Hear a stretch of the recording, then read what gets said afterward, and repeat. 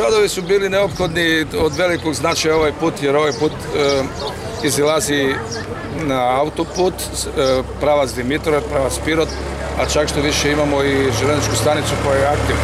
Tako da je od velikog značaja. Recimo, iz velikog sela kad bi neko pošao ili iz Krupca do opštine, on treba da ide preko izvora Berilovca, Tijabare, a odavde stiže za pet minuta do opštine. Tu je Isto škola. Molim, a tu je škola, da.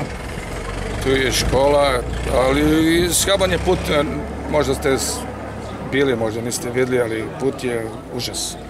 Tako da od veliko nam je značaja taj put.